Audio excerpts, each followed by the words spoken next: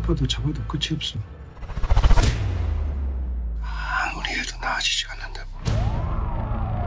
새벽에 낚시꾼이 신고를 했어. 검은 비닐에서 왼손 하나가 나왔고. 너도 미진이가 처음이 아니라고 생각하는 거지. 협조하자.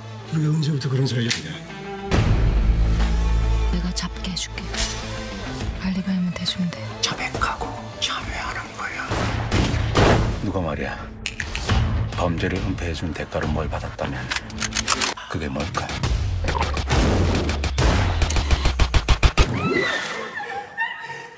그럴만한 가치가 있는 거였겠지. 지금 살인범을 잡는 거야. 잡고 싶은 놈을 잡는 게 아니라 나도 마찬가지야. 그놈은 내가 잡을 거고. 나는 가끔 네가 악당인지 경찰인지 헷갈린다니까.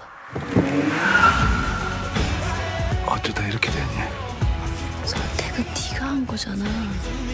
너라 그냥 일이 꼬인 거지.